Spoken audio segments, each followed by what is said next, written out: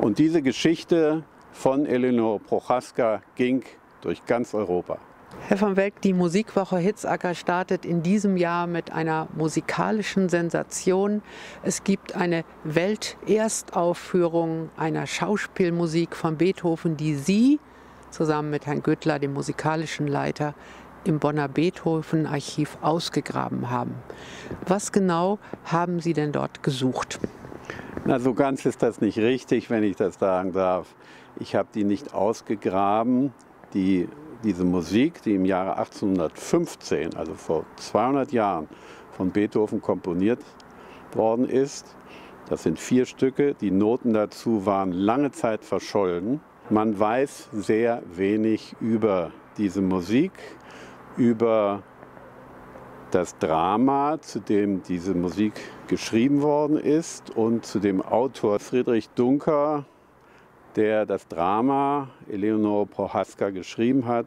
Wie Sie sagen, man weiß oder wusste bisher, kann ich sagen, sehr wenig über ihn.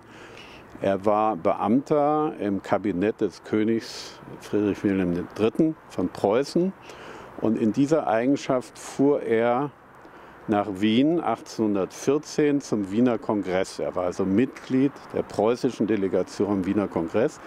Und während dieser Zeit, der Kongress dauerte fast ein Jahr, während dieser Zeit lernte er dort Beethoven kennen. Warum war Eleonore Prochaska beerdigt nach der Gördeschlacht in Dannenberg zu ihrer Zeit und bis heute so berühmt? Eleonore Prochaska war während des ganzen 19. Jahrhunderts eine Art deutsche Jeanne d'Arc. Sie hatte 1813 an der sogenannten Schlacht an der Görde teilgenommen, und zwar bei den Lützer Jägern. Dort war sie wenige Monate vorher eingetreten, verkleidet als Mann unter falschen Namen, August Renz. Das hatte niemand gemerkt. Sie wurde in der Schlacht an der Görde im September 1813 schwer verwundet und bei dieser Gelegenheit, als die Ärzte sich um sie kümmerten, kam heraus eine hübsche junge Dame.